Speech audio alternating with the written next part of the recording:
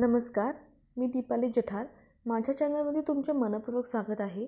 आज आपण पाहणार आहोत प्रसादाचा शिरा कसा बनवायचा ते आणि यासाठी लागणारे साहित्य आहे एक वाटी रवा एक वाटी तूप एक वाटी साखर दोन कप दूध एक छोटा चमचा वेलची पावडर बदाम आणि काजूचे काही तुकडे थोडे मनुके आणि पिकलेल्या केळाचे काही काप.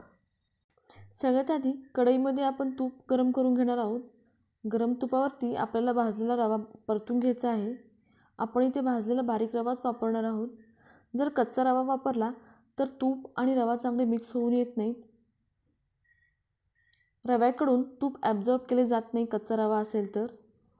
आणि तसाही रवा भाजायला पुष्कळ वेळ लागतो. आणि जर कच्चा रवा वापरला तर रवा भाजेपर्यंत बरंचसं तूप आपलं जळून जातं.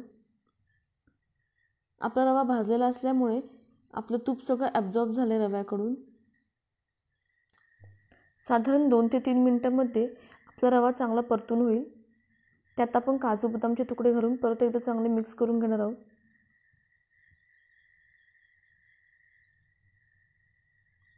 आता यात आपण मनुके घालून एक दोन मिनिट आपण परतून घेणार आहोत. आपले मनुके फुलेपर्यंत आपल्याला इथे परतायचं आहे. मणुके घातल्यावर आपल्याला सतत हलवायचं आहे नाहीतर मणुके खालून करपू शकतात.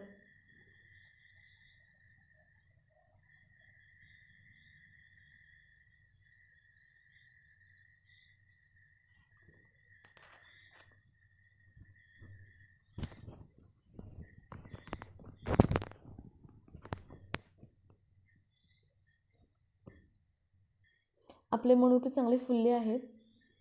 आता आपण याच्यापेक्षा जास्त नाही परतणार आहोत. यातच आता आपण दोन कप गरम दूध घालून घेणार आहोत.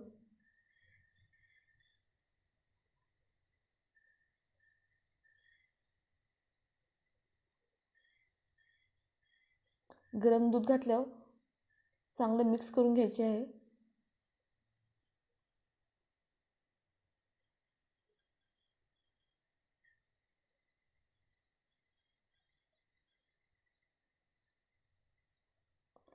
मिक्स झाल्यावरती झाकण घालून आपल्याला दोन ते तीन मिनटाची वाफ द्यायची आहे.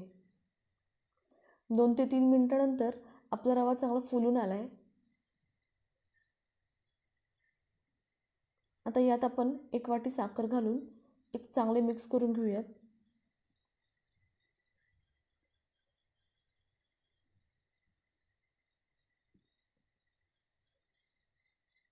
साखर मिक्स करून झाल्यावर परत आपण इथं झाकण घालून वाफ काढून घेणार आहोत. माझ्याकडे इथे तुळशीची काही पाने आहेत ती आपल्याला नंतर वापरायची आहेत. आपली वाफ देऊन झाली आहे.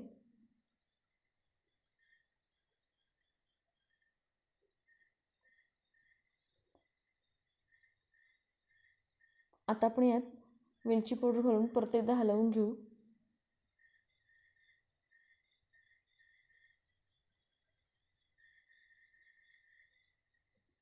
वेलची पावडर मिक्स झाल्यावरती आता यात आपण तुळशीची पाने आणि केळाचे काप घालून मिक्स करून घेणार आहोत. केळाचे काप आपल्याला शेवटीच घालायचे आहेत. जर सुरुवातीला घातले तर शिऱ्याला सगळा केळांचाच वास येतो.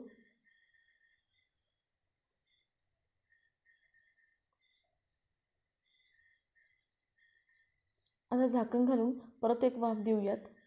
साधारण पाच ते सात मिनिट आपण इथे वाफ देणार आहोत. दोन मिनिट आपण मंद आचेवर गॅस ठेवून बाकीचे पाच मिनिट आपण गॅस बंद असतानाच वाफ देणार आहोत. गॅस बंद झाल्यासुद्धा झाकण नाही काढायचे आहे. यामुळे पिकलेल्या केळाचा जो गोडपणा आहे तो आपल्या शिऱ्यामध्ये उतरतो.